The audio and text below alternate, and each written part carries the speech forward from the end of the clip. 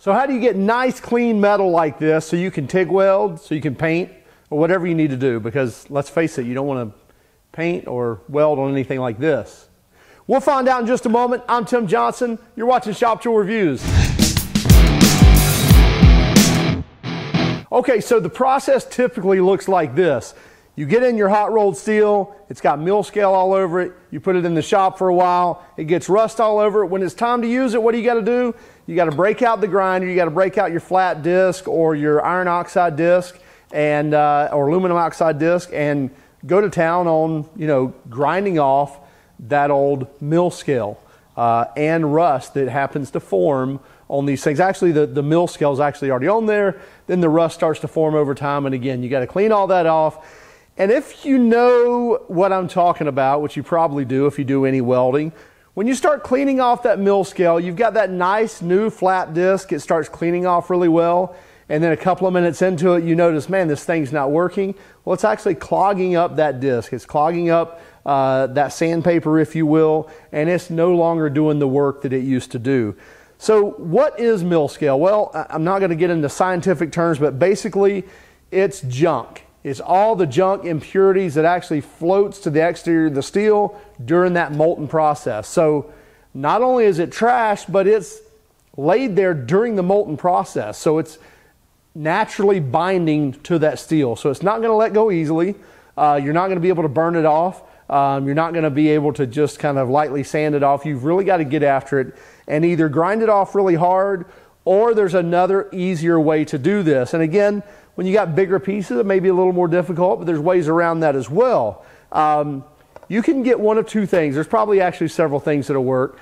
But as far as what'll take off the mill scale and the rust, uh, one easy thing is white vinegar. So white vinegar is not quite as corrosive.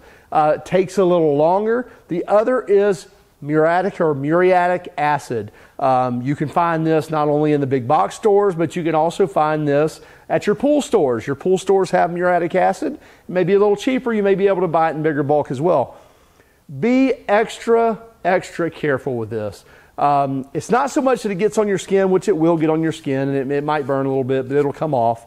Um, it'll feel real slippery, so you'll know when it gets on you.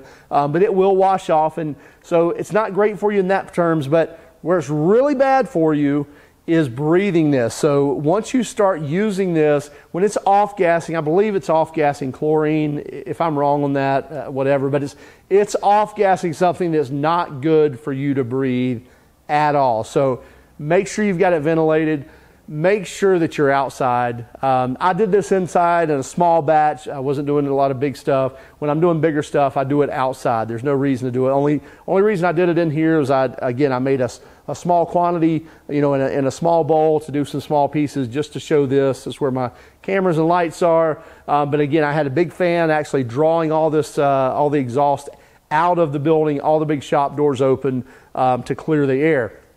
So Let's see how well this works. In fact, I meant to put this in when I first started talking. So here's a nasty, rusty piece of, of angle that's been around the shop since I don't know how long. Um, so I'm going to drop that in there while we're talking here, and we'll look and see what happens. That. And by the way, this is the same stuff that's already cleaned the rest of the stuff you're sitting here, um, and it will continue to work. You'll see it'll actually, you know, degrade over time, and as the more stuff you do things, uh, the more it will degrade. But it it will keep working, and, and don't assume uh, that the toxicity or the uh, or the acid has actually calmed down. So it's because it's actually still working. Um, but as you can see here, after a few minutes, I mean, it's eating all the mill scale off, it's eating all the rust off. This is ready for a quick scuff and a paint. I'm saying scuff, I mean, you know, if you wanted to hit this with 220 or if you just want to hit it with paint already. Um, you see some grinding marks when I first tried to grind it with the grinder and grind that mill scale off. But otherwise, really clean metal. Also, we could be able to hit this really quick with some acetone. We could use our TIG welder. Um, TIG welder is something you don't want to be welding on something like this. Something where you've got your mill scale, where you've got your rust, just not a good way to use your TIG welder. It's just not, not, not as forgiving as, say, a MIG or a stick. Um, so you can't do that. You've got to have nice, clean metal. So using this muriatic acid um, and, and using uh, this type of solution, if you will, um, it's going to clean that really quick. I think it in less than five minutes, it took it from you know looking like this with rust on it um, to this right here. And by the way, after you get it out, make sure that you either hit it with a little oil or be ready to actually do something with it because it will start rusting right away. Um, but you see again, you know, these pieces that we stuck in there, you saw it. I may have sped it up a little bit to, to actually see it work in a shorter time frame, but it was just a few minutes. It was no more than, I know it was no longer than 10 minutes. I think it was even less than five minutes to, to actually see it going to work. Um, and by the way, you may say, you know what? I don't have a you know a long skinny um, vat of some sort to, to soak these in. We'll make one. It's real easy to do so. Take you a cardboard box. Take you some cardboard boxes. Use a hot glue gun. Use a staple gun. Use some tape, and just make you a tray, if you will.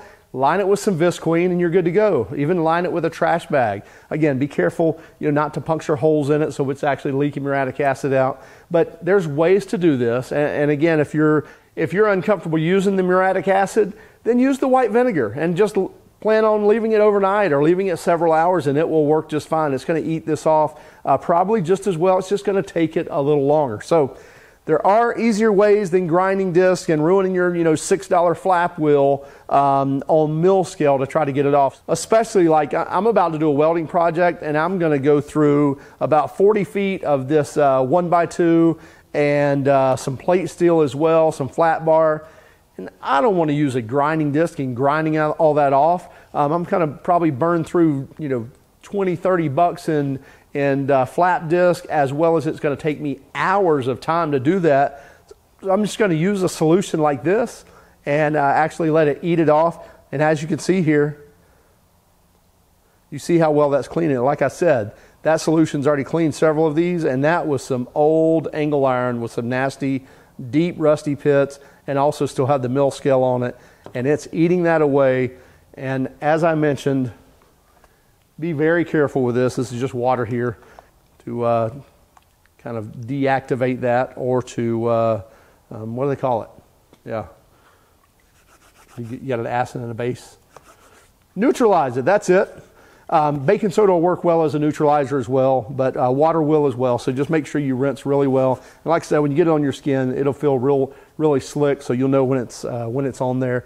So that's the easy way to get good and clean steel um, so that you can weld with it, so that you can paint it, whatever you need to do. If you don't mind, keep track of us on Instagram, Facebook, and Twitter. Hit that like and subscribe button and even that bell notification because then we're going to notify you of future videos. Have a great day go out and do something nice for someone.